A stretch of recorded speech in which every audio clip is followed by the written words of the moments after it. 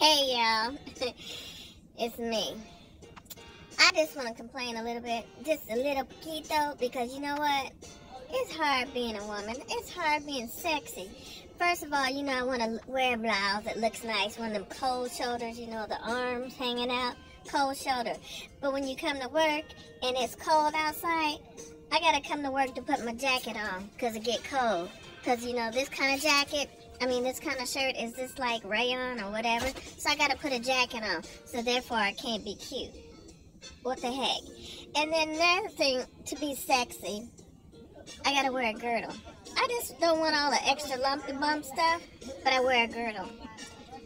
I think it cut off the oxygen. I can't breathe because I can't think. And I don't want to go to the bathroom because it's a hard time. I know TMI, but you men got it easy. Wearing a girdle? Oh, it's choking.